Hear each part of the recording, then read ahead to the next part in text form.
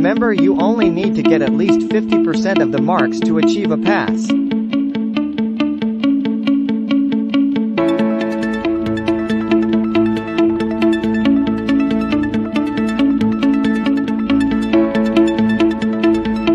You need to look after yourself.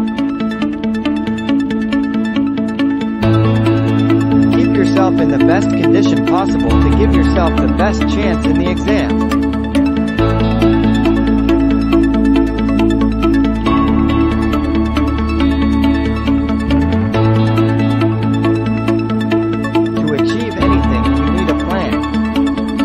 successful people always have a plan.